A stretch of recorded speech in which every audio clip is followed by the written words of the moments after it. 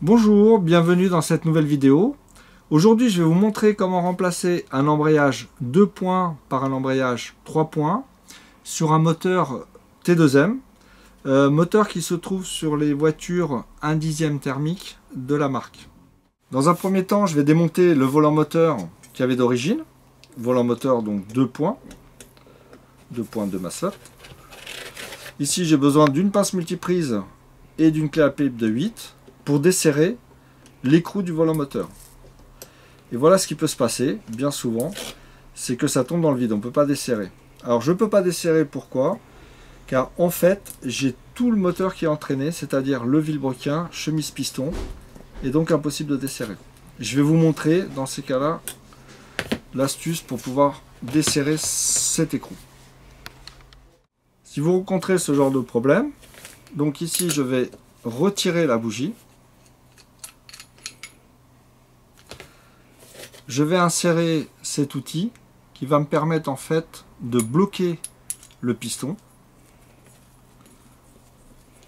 Voilà, je le visse en lieu et place de la bougie. Et maintenant, je vais pouvoir desserrer mon écrou. Voilà, parce que en fait, le vilebrequin ne peut plus tourner.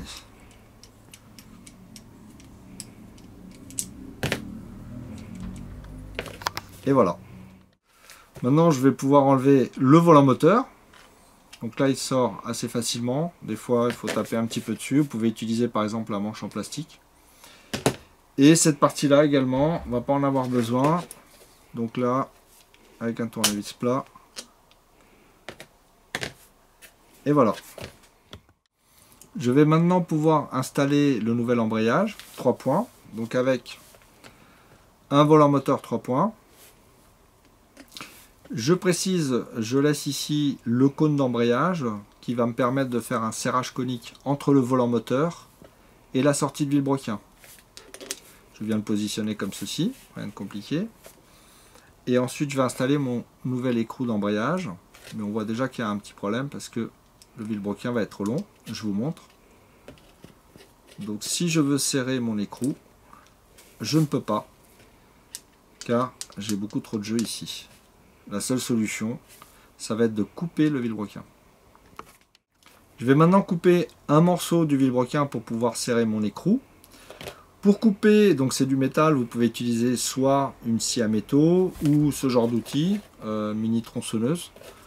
Euh, dans tous les cas, je vais utiliser un chiffon pour protéger mon moteur, pour éviter qu'il y ait de la limaille euh, qui vienne se mettre un peu partout. Voilà, et nous ici on va le couper avec cette mini tronçonneuse.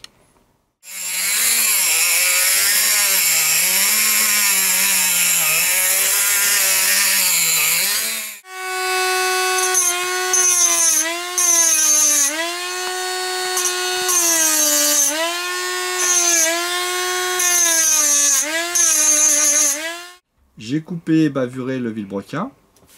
Donc maintenant je vais pouvoir remonter le volant et venir serrer l'écrou. Hop. Le voici, le voilà.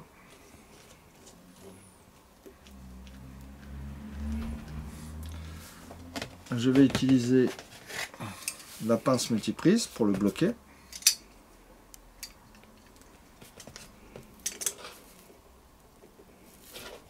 Voilà. Et maintenant, une clé à pipe de 8, puisque l'écrou il est en 8 et je vais pouvoir bien serrer sur le volant. Voilà. Je vais maintenant pouvoir installer les maslottes, donc trois maslottes puisqu'il s'agit d'un embrayage 3 points, et avec un système de ressorts différents, des ressorts à épingle. Je ne vais pas trop m'attarder sur le sujet car nous avons déjà fait une vidéo qui traite de ça, vous pourrez aller voir. C'est le montage d'un embrayage en 3 points. Euh, juste un rappel important, le moteur quand il tourne, il tourne dans ce sens-là, parce que j'actionne la tirette, c'est comme ça qu'il va tourner. Et ce qui est très important, rappelez-vous, c'est que la maslotte, quand je la positionne, le bord de fuite, c'est-à-dire l'arrière de la maslotte, ici, c'est ce qui va s'écarter. Donc il faut les positionner dans ce sens-là. Ça c'est très très important.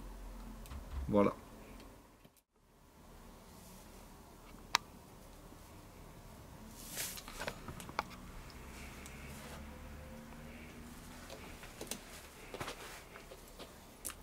Je viens donc positionner ma maslotte et le ressort.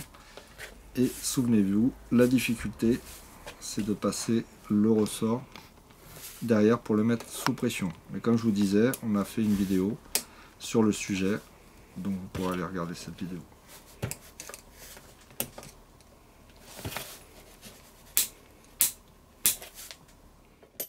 J'ai fini de monter les trois maslottes dans le bon sens, rappelez-vous. Voilà, le moteur il tourne comme ceci. Je vais en profiter pour vérifier la dureté des ressorts.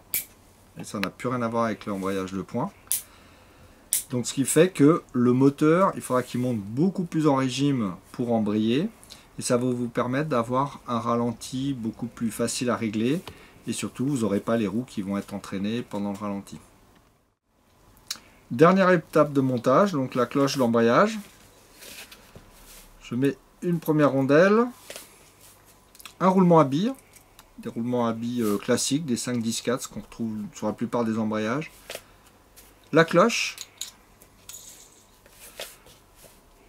Le deuxième roulement. Et pour finir, une rondelle. Voilà. Et pour maintenir le tout, le circlips qui vient se mettre ici dans la gorge. Je vais utiliser une pince, facile pour le mettre en place. Voilà. Et donc si l'embrayage est bien monté, la cloche doit tourner librement puisque c'est au moment où la voiture est débrayée, ça va tourner dans le vide. Cette vidéo est maintenant terminée. Si vous êtes euh, bricoleur et motivé, vous pouvez vous lancer dans ce genre de modification. Ça vous permettra de fiabiliser et également d'améliorer les performances de votre moteur donc de votre voiture. Donc je vous dis à très bientôt pour une nouvelle vidéo.